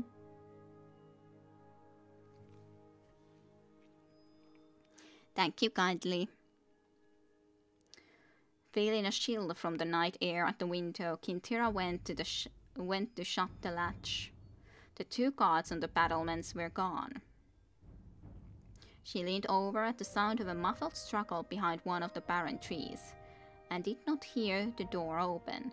When she turned, she saw the Queen Potema and Mendin, Duke of Glenpoint in the room with the host of gods. You move quietly, Aunt, she said after a moment's pause. She turned to the Duke. What turned you against your loyalty to the Empire? Fear? And gold, said the Duke simply. What happened to my army? asked Kintyra, trying to look Potema steadily in the face. Is the battle over so soon? All your men are dead, smiled Potema. But there was no battle here, merely quiet and efficient assassination. There will be battles ahead against Modellus in the Dragon Tail Mountains and against the remnants of the Imperial Army in the city. Ah, I'll send you regular updates on the progress of the war. So I am to be kept here as your hostage? asked Kintyra flatly, suddenly aware of the solid solidity of the stones and the great height of her tower room. Damn you. Look at me, I am your empress. Think of it this way, I'm taking you from being a fifth-rate ruler to a first-rate martyr, said Potema with a wink. But I understand if you don't want to thank me for that. Well, that was also a short book, to be honest. So we're doing good progress with this. Every time there's loot happening, yes.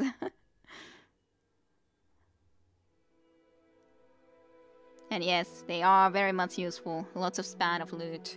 Though, I don't know if that was loot, but uh, yes. Spam this emote to make it a hoot. Hoot? Hoot hoot. Sure, okay, if you want to be hoot hoot. Or do you want me to go and leave actually to loot stuff and not read the series at the end? Well, to be honest, we are quite close. Only two more books to do. I should probably watch other streams live to spread the joy. Just really suck using emotes. Hmm. Hmm. But it is a very nice emote. Okay, so again, history part then. So the Wolf Queen, Book 7 by Yard, from the pen of Inzolicus, 2nd century sage. Third era 125. The exact date of the Empress Kintyra Septim's second execution in the tower of the Glenpoint Castle is open to some speculations. So she was indeed executed even. Some believe she was slain shortly after her imprisonment in the 121st year, while others maintain that she was likely kept alive as a hostage until shortly before her uncle Cephorus, Gilane, reconquered western High Rock in the summer of the 125th year. The certainty of Kintyra's demise rallied many against the Wolf Queen Potema and her son, who had been crowned Emperor Uriel Septim III, four years previously when he invaded the underguarded imperial city. Yes, took the imperial city and then crowned to be the emperor. Cephorus concentrated his army on the war in High Rock, while his brother Magnus, king of Lilmoth, brought his Argonian troops through loyal Morrowind and into Skyrim to fight the Potema's home province. The Reptilian troops fought well in the summer months, but during the winter they retired south to recruit and attack again when the weather was warm. At this stalemate, the war lasted out two more years. Also, in the 125th year, Magnus's wife Helena gave birth to their first child, a boy who they named Pelagius, after the emperor who fathered Magnus, Cephorus, the late emperor Antiochus, and the dreadful queen of solitude.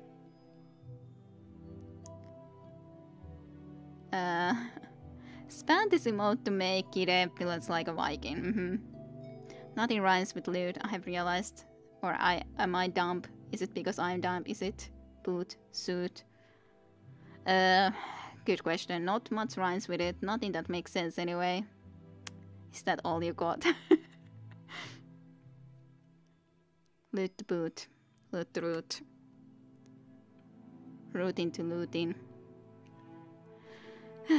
not much, not much to. Mm. Well, third era 127. Potema sat on a soft silk cushions in the warm grass in the front in front of her tent and watched the sun rise over the dark woods on the other side of the meadow. It was a peculiarly vibrant morning typical to Skyrim's summer tide. The high chirrup of insects buzzed all around her, and the sky surged with thousands of following birds, rolling over one another and forming a multitude of patterns. Nature was unaware of the war coming to Falcon Star, she surmised. Your Highness, a message from the army in Hammerfell, said one of her mates.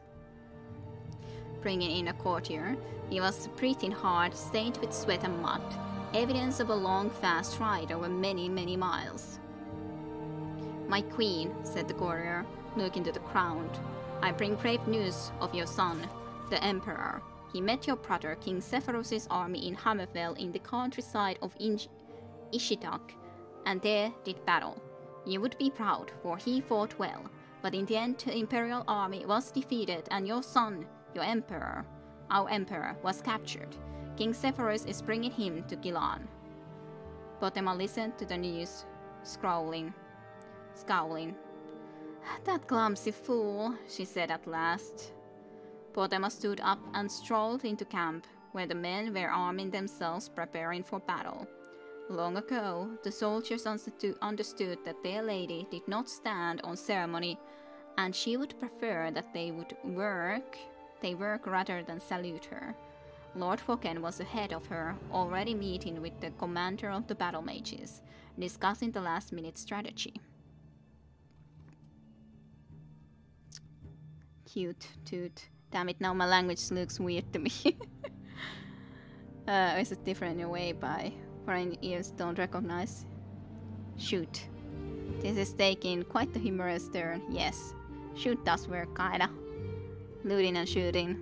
Shooting and looting, right? You usually have to shoot after all if you wanna be looting. Usually. So, My queen, said the courier who had been following her, what are you going to do? I'm going to win this battle with Magnus despite his superior position holding the ruins of Kokmetris castle, said Potema. And then, when I know that Cephorus means to do with the Emperor, I'll respond accordingly. If there's a ransom to be paid, I'll pay it. If there's a prison exchange needed, so be it. Now please, pat yourself and rest and try not to get in the way of the war. It's not an ideal scenario, said Lord Vhokken when Potema had entered the commander's tent.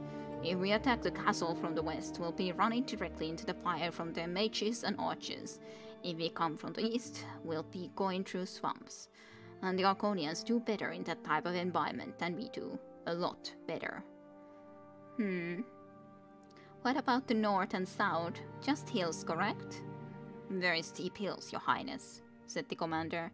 We should post bowmen there, but we'll be too vulnerable putting out the majority of our force. Hmm, so it's the swamp, said Potema, and added pragmatically, unless we withdraw and wait for them to come out before fighting. If we wait, Cephorus will have his arm here from High Rock, and will be trapped between the two of them, said Lord Vhokken. Not a preferable situation. Hmm, I'll talk to the troops, said the commander. Try to prepare them for the swamp attack. No, said Potema. I'll speak to them.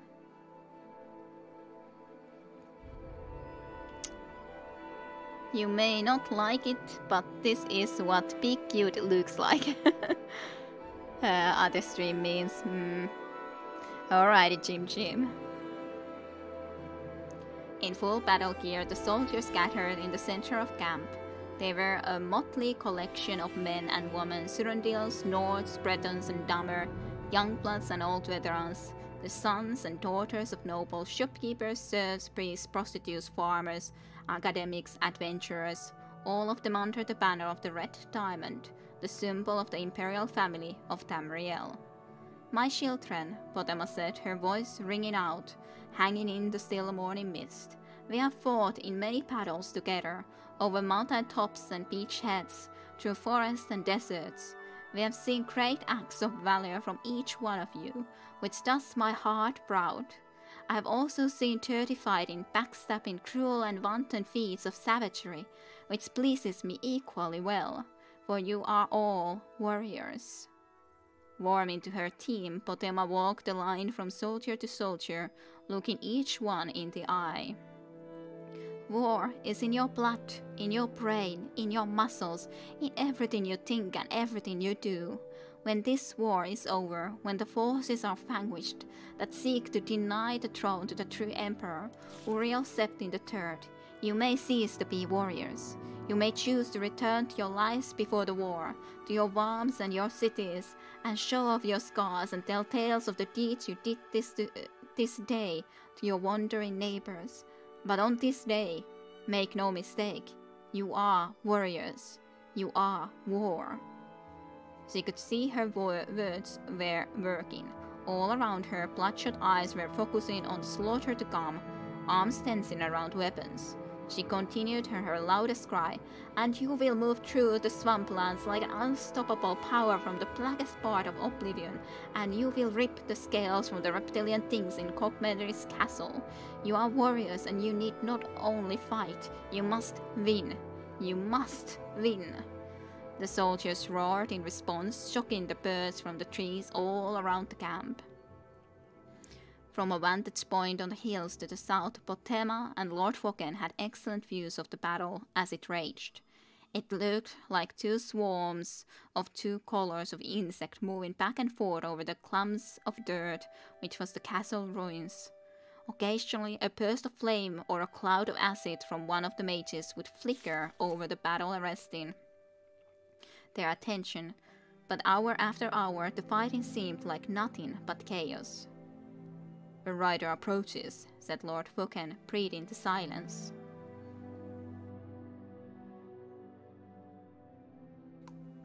Uh, you're glad it suffices. It is a very cute emote.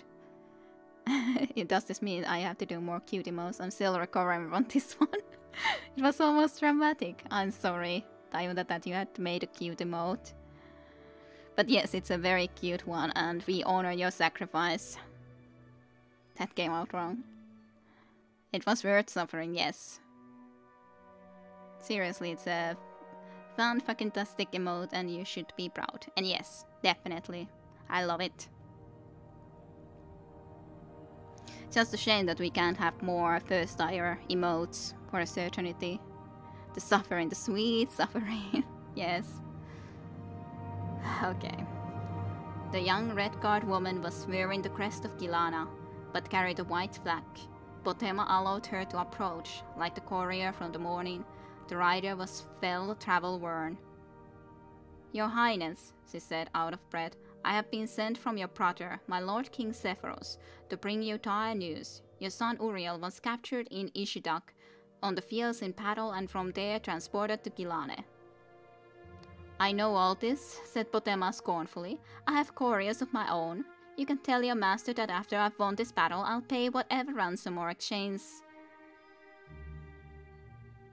Your Highness, an angry crowd made, met the caravan your son was in before it made it to Gilane. The rider said quickly, Your son is dead. He had been burned to death within his carriage. He is dead. Great. So he got killed in that sort of a way.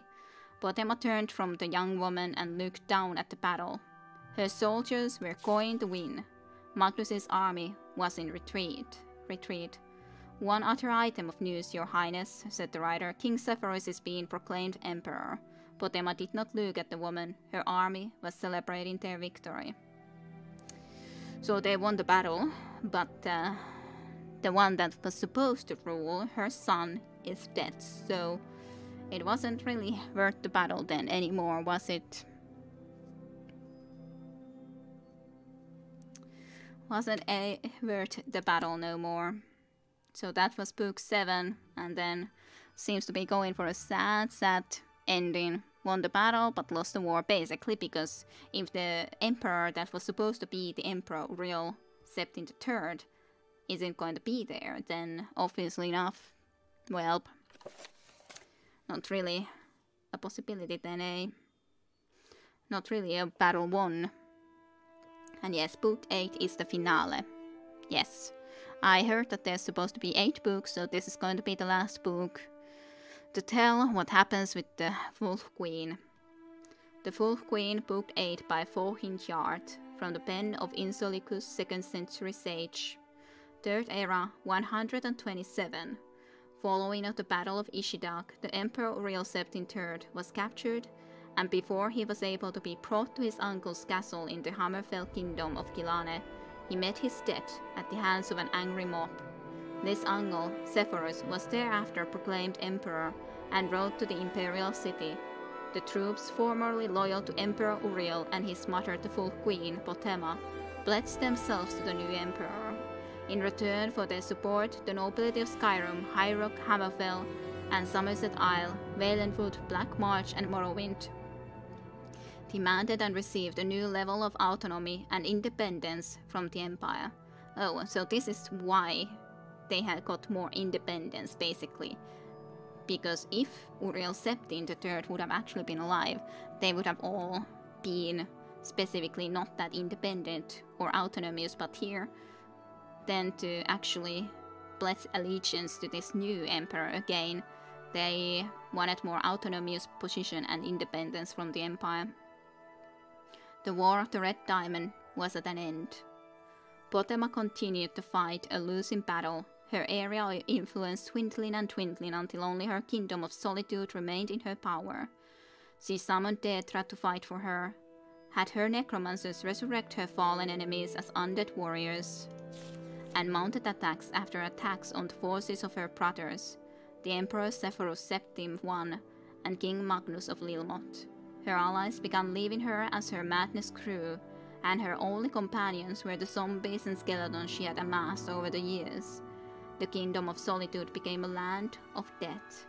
Stories of the ancient wolf queen being waited on by rotting skeletal chambermaids and holding war plans with vampiric generals terrified her subjects.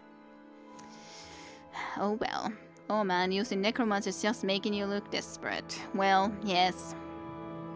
Of course, if she gave up, they might just simply be wanting to anyways execute her on the other hand, so... Well, third era 137. Magnus opened up the small window in his room. For the first time in weeks, he heard the sounds of a city carts squeaking, horses clopping over the cobblestones, and somewhere a child laughing. He smiled as he returned to his bedside to wash his face and finish dressing. There was a distinctive knock on the door. Come in, Bell, he said. Pelagius bounded into the room. It was obvious that he had been up for hours. Magnus marveled at his energy and wondered how much longer battles would last if they were run by a 12 year old boys. Did you see outside yet? Pelagius asked. All the townspeople have come back. There are shops and a is killed and down by the harbor I saw a hundred shops coming from all over the place. They don't have to be afraid anymore. We've taken care of all the zombies and ghosts that used to be their neighbors. And they know it's safe to come back. Is Uncle Cephorus going to turn into a zombie when he dies? asked Pelagius. I wouldn't put that past him. Why do you ask? I heard some people saying that he was old and sick, said Pelagius. He's not that old, said Magnus. He's 60 years old, that's just two years older than I. And how old is Aunt Potema? asked Pelagius. Seventy, said Magnus. And yes, that is old. Any more questions will have to wait. I have to go meet with the commander now. But we can talk at supper. You can make yourself busy and not get into any trouble. Yes, sir, said Pelagius. He understood that his father had to continue to hold siege to Aunt Potema's castle. After they took it over and locked her up, they would move out of the inn and into the castle. Pelagius was not looking forward to that. The whole town had a funny, sweet, dead smell, but he could not get even as close as the castle moat without gagging from the stench. They could dump a million flowers on the place and it wouldn't make any difference at all. He walked through the city for hours, buying some food and then some ribbons for his sister, and muttered back in Lilmoth. He thought about who else he needed to buy gifts for, and was stumped. All his cousins, the children of Uncle Cephorus, Uncle Antiochus, and Aunt Potema, had died during the war. Some of them in battle and some of them during the famine because so many crops had been burned. Oh dear, everyone had died. Aunt Bianki had died last year. There was only he, his mother, his sister, his father, and his uncle the emperor left, and Aunt Potema. But she didn't really count. Oh dear. How old these people live? That's a good question. How old?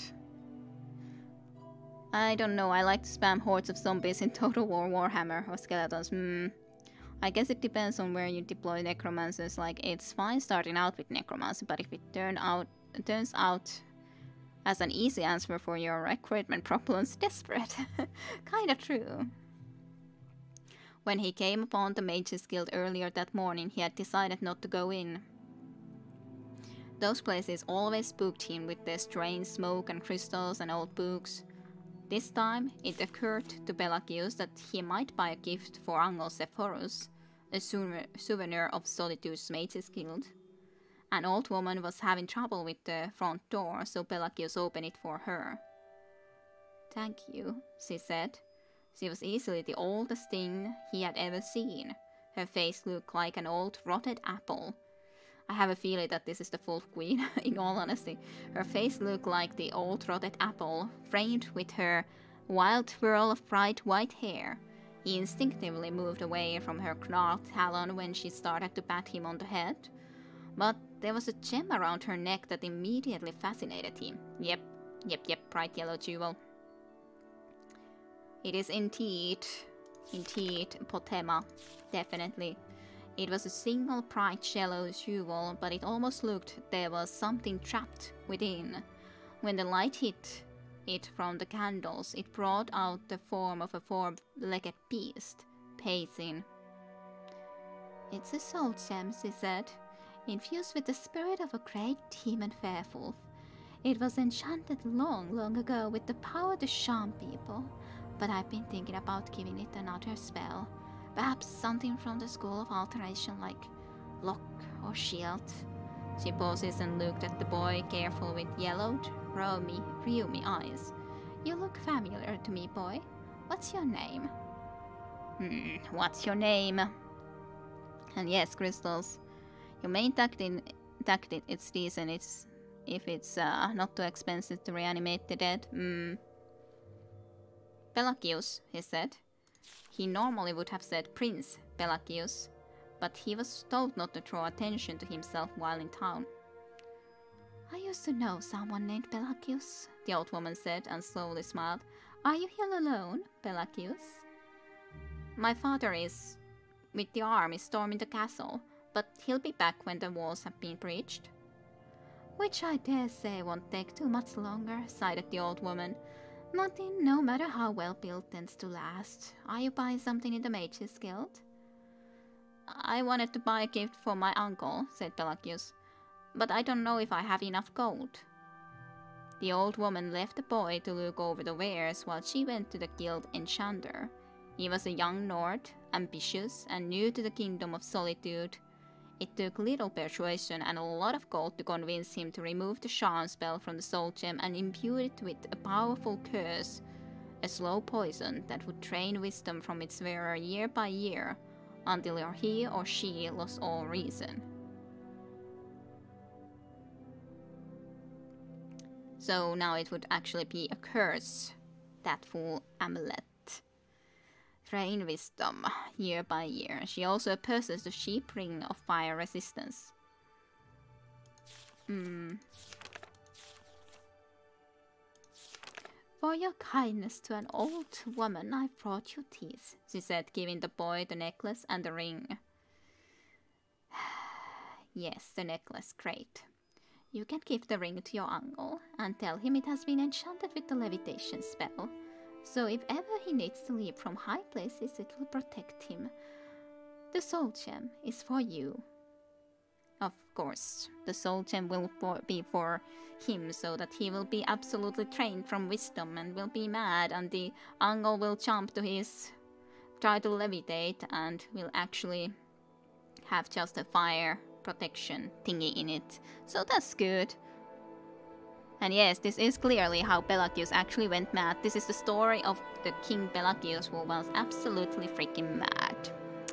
And yes, so this is why Pelagius went mad. Interesting, very much so interesting. Thank you, said the boy. But this, this is too kind of you. Kindness has nothing to do with it, she answered quite honestly. You see, I was in a hall of records at the Imperial Palace once or twice, and I read about you in the foretellings of the Elder Scrolls. You will be the Emperor one day, my boy, the Emperor Pelagius Septim III, and with this soul gem to guide you, posterity will always remember you and your deeds. Yes. With those words, the old woman disappeared down an alley behind the Mage's Guild. Pelagius looked after her, but he did not think to search behind a heap of stones. If he had, he would have found a tunnel under the city into the very heart of Castle Solitude. And if he had found this way there, he would have found, past the shambling undead and the mouldering remains of a once grand palace, the bedroom of the queen. In that bedroom, he would have found the fourth queen of solitude in repose, listening to the sounds of her castle collapsing, and he would see a toothless grin growing on her face as she breathed her last. From the pen of Inzolicus' second century sage, then to the history part. Potema Septim died after a month-long siege on her castle.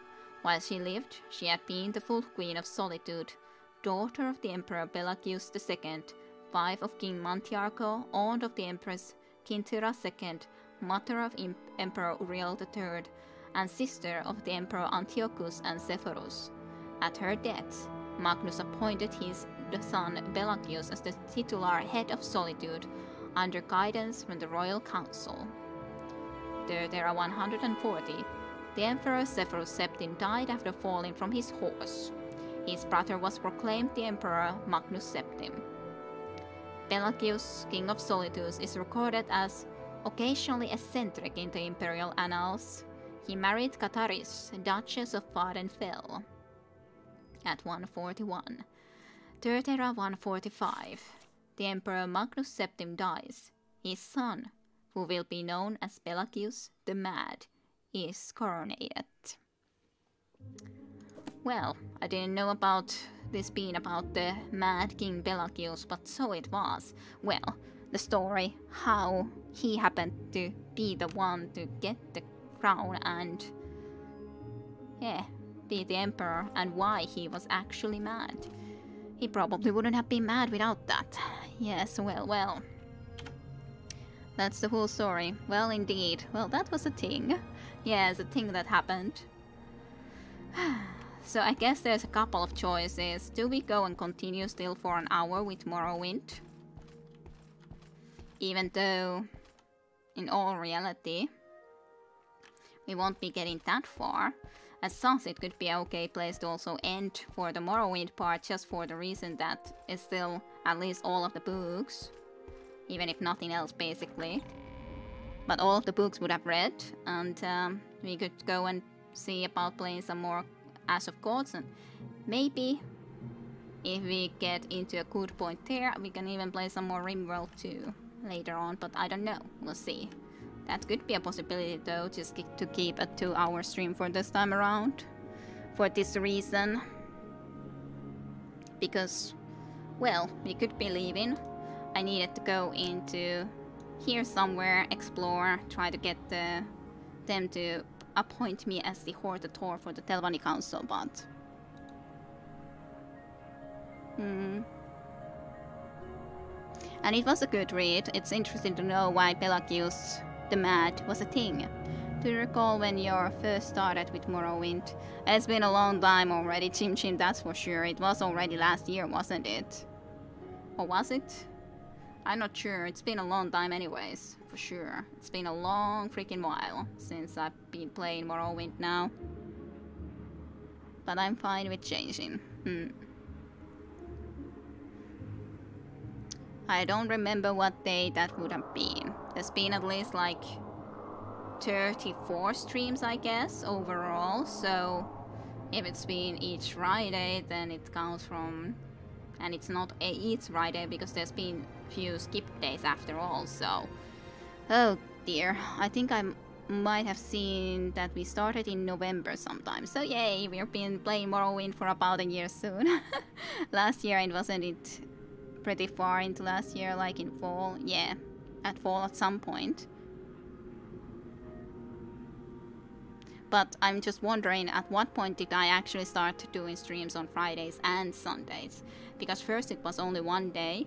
I guess during that time I just did the Bioshock 1 for example too after that, did I start doing like Sundays Bioshock 2 and then Morrowind on Fridays? Question mark. But yeah, November seems reasonable. Okay, let's try to see if we can go and play at least one chapter of uh, Ash of Gods and maybe we can even play a little bit of Rimworld after that. We'll see about that, but thank you for watching some Morrowind and next time we will then again adventure actually, but hey, we got through a very sweet book series, so I'm happy with that. So thank you everyone for watching some more Morrowind, and uh, we'll see you with more Morrowind then next Friday, shall we? okay, thank you for watching, see you next time.